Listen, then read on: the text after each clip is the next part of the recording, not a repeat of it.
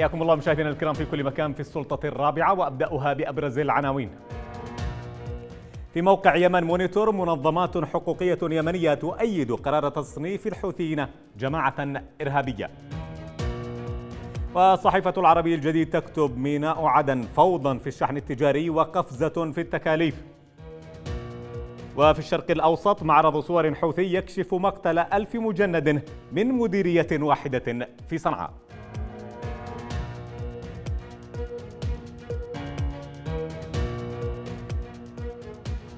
البداية من موقع المصدر أونلاين والذي ذكر في تقريره الخاص أن الحكومة الجديدة عادت إلى مدينة عدن في أواخر ديسمبر الماضي فيما كان من المقرر تنفيذ بنود الشق العسكري لاتفاق الرياض في محافظتي عدن وأبين جنوبي البلاد عودت تعثر أجواء الاتفاق الذي تشرف عليه المملكة العربية السعودية.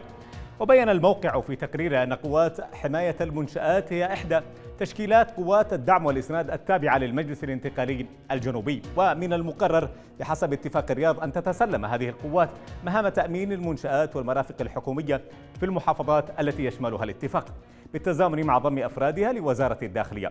لكن مصدرا أمنيا قال لموقع المصدر أونلاين أن النزاع حول النفوذ والتمكين في مدينة عدن وعملية التقاسم البارزة بين قوات الدعم والإسناد والحزام الأمني من جهة وقوات أمن عدن وكتائب العاصفة من جهة أخرى أدت إلى إضعاف وتهميش أدوار القوى الأمنية الأخرى التي تقع خارج هذا السباق. مضيفا أن أغلب القوى الأمنية والقادة الذين ينتمون لمناطق خارج نطاق القوى التقليدية الجغرافية في لحج والضالع باتوا يملكون حيزا محددا من التحرك في ظل إحكام الأولى على الوضع العسكري والأمني إضافة إلى تحكمها بالقوى البشرية في هذه المناطق لصالحها.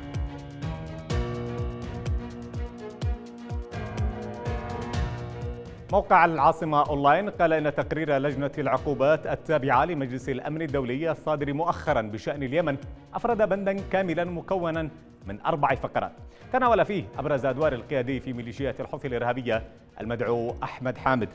وتفيد المعلومات التي أوردها التقرير بخطورة الأنشطة الإرهابية التي يمارسها حامد وبروزه مؤخرا ضمن أجنحة تتصارع داخل الحركة الحوثية على النفوذ والإثراء حيث بات يشكل إلى جانب محمد علي الحوثي وعبد الكريم الحوثي أقطابا تهدد زعيم الجماعة عبد الملك الحوثي وتنازعه الزعامة. ولفت التقرير إلى تورط حامد بأعمال قمع وتخويف للمعارضين السياسيين وأنشطة فساد خاصة في المجال الإغاثي والإنساني حيث حصل الفريق الأممي على أدلة تثبت تورط حامد الذي يرأس الهيئة الحوثية لتنسيق الشؤون الإنسانية بتحويل المعونات الإنسانية لصالح الميليشيات وعملياتها الحربية ومنع وصولها إلى الفئات الفقيرة والفئات أيضا الأشد فقرا. يذهب التقرير الأممي أبعد من ذلك ليؤكد, ليؤكد أن أحمد حامد له صلة وثيقة بوقائع الانتهاكات بحق مختطفين وابتزاز النساء واختطافهن حيث يقدم الدعم لسلطان زابن المدان بانتهاكات واسعة ضد النساء في تقرير سابق للجنة الخبراء ذاتها.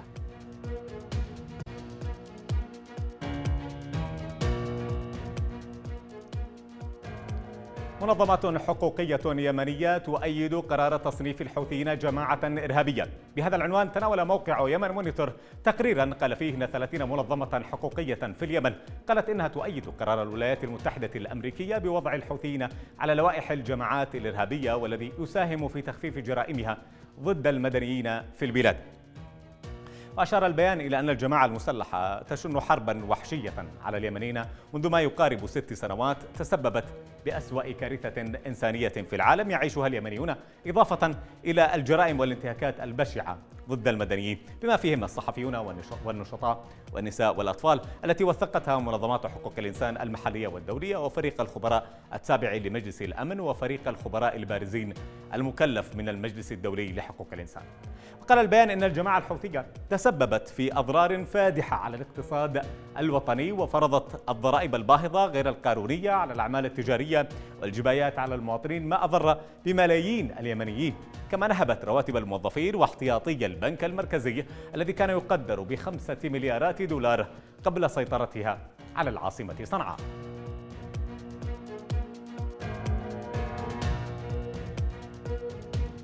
قال الكاتب في موقع يمن شباب منذر منذر فؤاد أن المنظومة الدولية أعادت تدوير وجود السلطة القديمة في مناصب تختلف عن تلك التي كانت تشغلها سابقا في اليمن، لكن هذه العملية لم تعد بالنفع على المواطن اليمني بقدر ما ضاعفت من معاناته.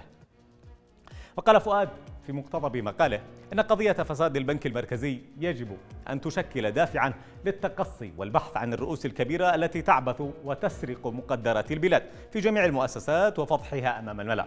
هذا الجهد يحتاج إلى استقلالية بعيدا عن وصاية الأحزاب السياسية وضغوطات الإعلام الذي يخضع للدفع والطلب.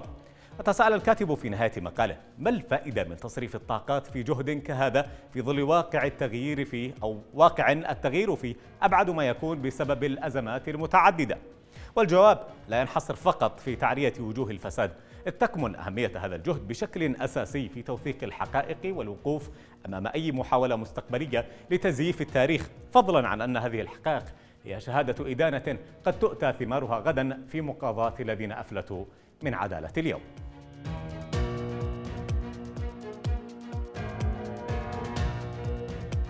من الصحف المحلية والمواقع المحلية مشاهدينا الكرام إلى الصحف العربية وتحت عنوان ميناء عدن فوضى في الشحن التجاري وقفزة في التكاليف. قالت صحيفة العربي الجديد إن ميناء عدن أصبح في الفترة الراهنة مثار جدل واسع إذ لا يقف الأمر عند حدود الفوضى التي تحتاج أو تجتاح والتسرب الحاصل في إيراداته بل يعاني كذلك من انتشار منافذ عديدة للتهريب في أكثر أو في أكثر من اتجاه. الأمر الذي يؤثر بشكل بالغ في نشاطه الملاحي. وتكشف مصادر ملاحية رفضت ذكر اسمها للعربي الجديد عن خضوع الأجزاء الشمالية الغربية من الميناء لقبضة المهربين. وهو ما يفقد الميناء جزءا من نشاطه في الشحن التجاري وعمليات الاستيراد وأيضا التصدير. الخبير الملاحي القبطان أيمن صالح يؤكد للصحيفة أن عملية ضبط الموارد العامة واستعادتها يجب أن تبدأ من ميناء عدن الذي يعاني من فوضى عارمة وازدهار عمليات التهريب. كما هو حاصل في سواحل رأس عمران وفق حديثه. ويعزو خبراء في الشأن اليمني هذه الاختلالات الحاصلة التي نتج منها توسع مخيف لظاهرة التهريب ليس فقط في ميناء عدن بل في جميع المنافذ اليمنية حتى المغلقة منها إلى الحرب الجارية.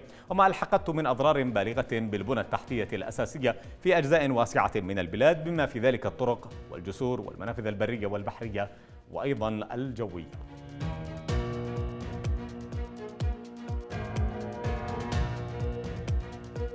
صحيفة عكاظ قالت إن النظام الإيراني لن يتخلى عن أساليبه الإرهابية وأعماله العدوانية التي يعتقد أنها الضمانة الحقيقية لبقائه.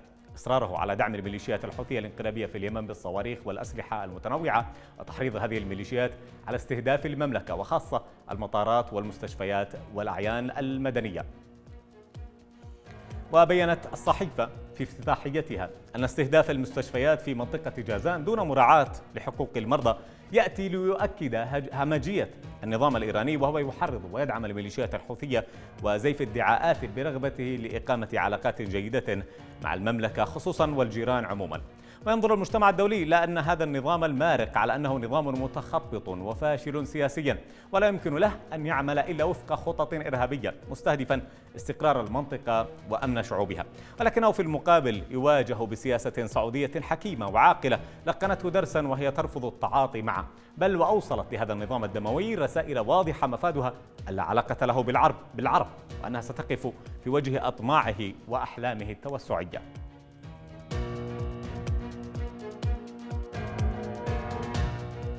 نشرت صحيفة الشرق الأوسط تقريرا قالت فيه أن معرضا حوثيا للصور كشف عن مقتل أكثر من ألف مجند من مديرية واحدة في العاصمة صنعاء. كانت الجماعة دفعت بهم أو دفعت بهم إلى جبهات القتال. وذلك بالتزامن مع مطالبات عائلات للجماعة بالإفصاح عن مصير العشرات من أبنائها الذين اقتادتهم في الأشهر الماضية إلى خطوط النار. واتهم الأهالي في مديرية معين ثاني أكبر المديريات في العاصمة صنعاء من حيث عدد السكان. اتهمت الجماعة الحوثية بالوقوف وراء اختطاف أبنائهم وذويهم من شريحة الشباب والأطفال صغار السن وإخضاعهم لدورات طائفية وعسكرية ومن ثم تحويلهم إلى وقود ومحارق للموت. وتحت ضغط أهالي المجندين اضطرت الجماعة بحسب المصادر إلى تدشين العشرات من معارض الصور على الطريقة الإيرانية لقتلاها في جميع مديريات أمانة العاصمة. في مقدمتها مديرية معين التي تضم في نطاقها ثلاثة أحياء كبيرة ونحو 97 حارة. ومن خلال رصد سريع في المعرض بالمديرية ذاتها تبين آه، تبين تصدر حي السنينة الذي يضم أكثر الحارات قائمة القتلى ممن لقوا حتفهم في الجبهات على أيدي القوات الحكومية المسنودة بطيران التحالف الداعم للشرعية. واتباعا لعملية الحصر تصدرت حارات كل من القميعة الأحلى الشمالية العزة قرية السنينة والرسالة والأبرار ووادي الأحلى وحارة الستينات الغربية وحارة الخير والسلام في حي السنينة قائمة الحارات بمديرية معين ككل من حيث عدد القتلى الذين زجت بهم الجماعة في أتون حربها. في حين حصدت حارات حي عصر بالمديرية ذاتها المرتبة الثانية في عدد الصرعى ثم حارات حي معين التي جاءت في المرتبة الأخيرة.